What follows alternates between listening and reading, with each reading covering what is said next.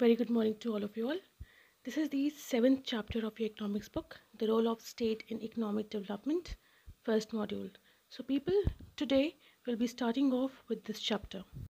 Before we go into the roles of economic development, we need to understand the importance of economic development. What is economic development? I'm sure this term is not new to you people, still, I'll like to revise it.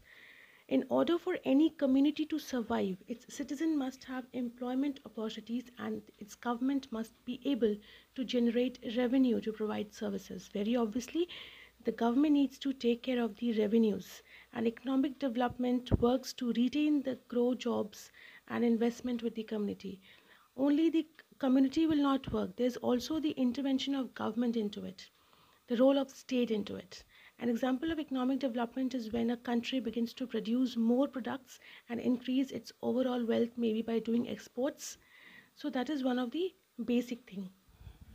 We can also understand economic development as a growth of standard of living of nation's people from low income, that is poor, to high income, that is rich. When the local quality of life is improved, there is automatically an economic development. So when social scientists study economic development, they look at the lot of things. Society as a whole. It's not just that exports are increasing, but also what is the level of society? What how are the people there? Are they BPL into the level or they are having a middle class or everybody is from the high class? So these lot of things has to be taken in considerations to tell a economy that it is developed or it is underdeveloped or what is the state of uh, the development. Now let's talk about economic reforms. It refers to the fundamental changes that were launched in long back in 1991 with a plan of liberalizing the economy and to quicken its rate of economic growth. The essential features of economic reforms are liberalization, privatization and globalization which is commonly known as LPG. It's not that LPG gas people, it's LPG, liberalization, privatization, and globalization. Again, this term is not new to you people. Still, I'm going to deal with these terms individually along with the examples. So, these are the economic reforms. Reforms are the changes. Let's talk about liberalization. Liberalization is a process whereby a state lifts the restriction on some private individual activities. Liberalization occurs when something which used to be banned for so no longer is banned or when government regulations are relaxed. That means a company which is having a lot of intervention from the government that is relaxed. Like they are also getting freedom from the government intervention just like that. For example the, I am giving you the example of the world class. Uh, European Union has liberalized gas and electricity markets, instituting a competitive system. Means competitive system only occurs when two people come together and they work together and they compete. But when there is just government, there is no competition. So liberalization is taking over, taking off the power of government. The next is privatization. The transfer of ownership property or business from government to private sector is termed as privatization. As the word itself speaks, getting private. So uh, whatever the government sector is having, they are giving the government sectors to the private ones, and that calls privatization.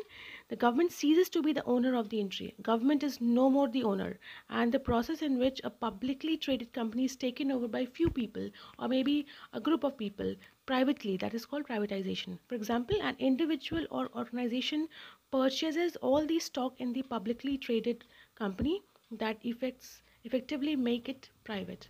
So taking over a company completely by few individuals is called privatization. And the last one is globalization. Globalization, again, we understand it from the word. Globalization is a word which used to describe the growing interdependence of world economies uh, by culture, population, brought uh, about by cross-border trade in goods and services, technology, and flow of investment, people, information. That is cross-culture. How do we know? How do we know the western culture? We are getting influenced with the western culture.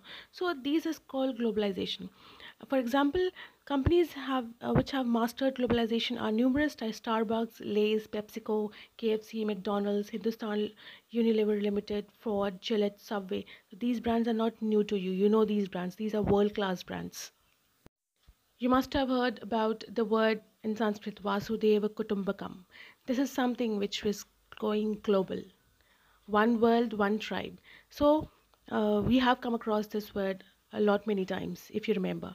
So people this is what is globalization. So people I have tried to explain you a chapter i have tried to explain you a concept which is already known to you in a better and a broader way. So i hope the concept is clear to you. Please go through the video understand and parallelly read your books for the better understanding. Wait for the next video. Thank you so much for your patience. Bye. Take care